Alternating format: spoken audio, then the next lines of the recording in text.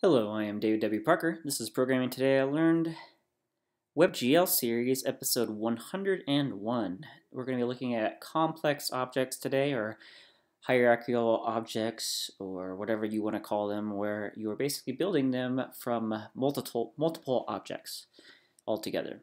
Um, major note, we've moved the vendor and images out of the folder, and you're running from the main directory instead. So we're running from here rather than within the uh, folder itself and then you can click on into each of these. I've actually refactored it so most of these should all work uh, that way you don't have to be switching folders all the time and we don't have to download a lot of extra vendor code so I got rid of a lot of code when you're downloading. Uh, so that's it. Let's go ahead and get started here. So uh, just another note, this is the new path for the vendor stuff. And you can see here we have all of our source stuff. And now we have a couple new folder or files. We have the primitives cube, which is the same thing as primitive cube before, but moved under the primitives folder.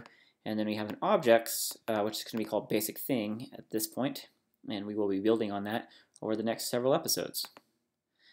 Uh, jumping in here to the index, everything is basically the same here until we get down to initialize. We've moved everything into that and we're exporting the images now just to keep them in the index as well for now.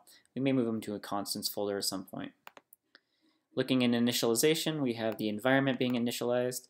Like I said, this was being done previously in index, but we moved it in here just to stay consistent with all of the initialization all together.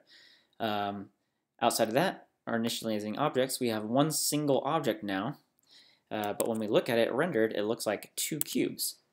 Uh, so we'll go ahead and see what is going on with that in just a moment. So we can play with this here. You can see the different difference. The two cubes, they move together. Um, now let's go ahead and jump towards the basic thing. So this is basically exactly like uh, any other object that we've been using so far, namely the cubes. Uh, I have a bunch of stuff commented out right now because it's kind of in flux and it's not 100% complete and you will see how so in a moment, but we will be building upon it and making it better and fixing things as we go. So we have a new part of it here called components. And so the basic thing, as you can see, is made up of two components here. It's made up of one cube and then it's making up another one. We've translated it 2.5 for the second cube, which is why it's up here. And as you recall, the size of the cubes are 2 by 2, so if I went ahead and made it 2 right there specifically and waited for it to load, it's going to be touching uh, itself. Uh, so we can go ahead and just give it a little bit of space. If you want to give it an angle, we can. Um, let's go ahead and make it 2.1. And you can see it's slightly above and over. Um, so you can see that's how that works. Um, but how is it rendered? What has changed? Again, more commented out stuff as we build upon it. So now when we're going to go render and draw, whereas before we would just go ahead and um, draw the cube right out, this time we're going to iterate through every single component. And for each component, it's going to render and grab and uh, do everything that it would have normally.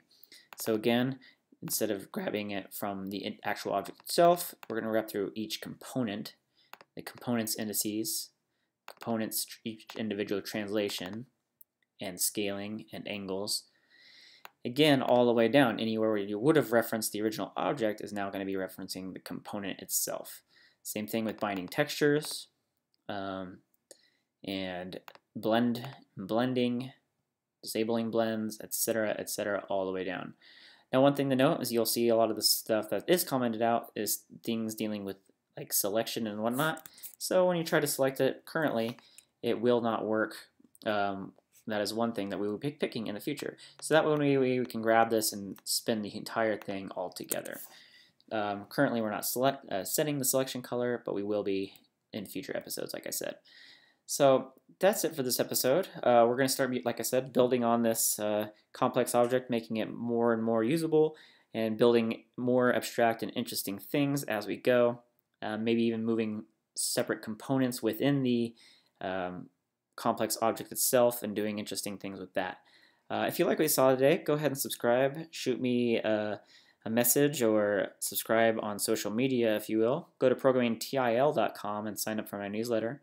And uh, that's it. Have a great one. Thank you.